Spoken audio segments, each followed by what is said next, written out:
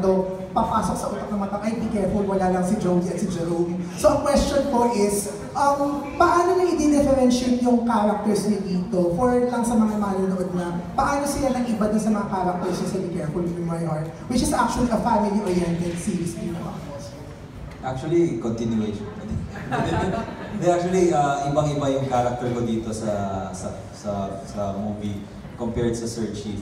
Uh, in a way, may similarity because he's a successful businessman, pero yung character niya, ibang-iba.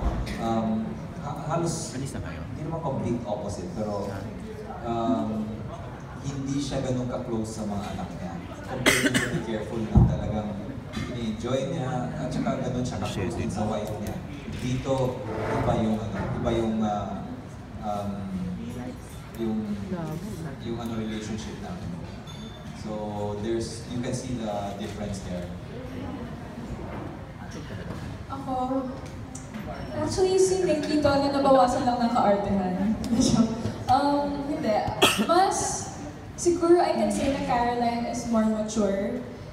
Ah, kasi magka-college na siya nung si Be Careful kasi si Nikki high school pa lang siya, freshman. Ito naman, freshman siya sa college and she has a deeper problem kasi gusto niyang, meron siya, in her heart gusto niya talaga kumanta.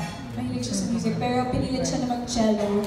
So, may struggle din siya sa that niya and all. Pero yun nga, mas deep si Caroline and mas mature. Um, paano ba? Si Nicola po syempre sobrang makulit. Medyo dito hindi siya ganun kakulit pero may lihim na pagtingin pa din para kay Janelle. Parang sa be careful with heart. Kasi di ba, dati crush ko din si Nikki. Tapos ito, may something din ako para sa kanya. So, hindi mo din nagbabago.